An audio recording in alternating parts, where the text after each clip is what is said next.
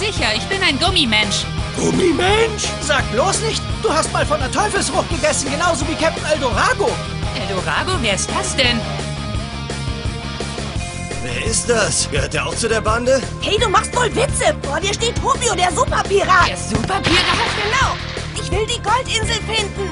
Die Klunkern interessieren nicht. Ich will Gold. Ganz einfach, weil ich der König der Piraten werde. Die ist mir sofort aufgefallen, du Schwachkopf! Und wo ist jetzt das Gold? Ich hab's vergessen. Wie bitte? Wenn auch nur ein einziger Mensch daran glaubt, dass er noch am Leben ist, dann gibt es ihn vielleicht noch. Wieso, wieso zögerst du denn? Los, Jungs, ab auf die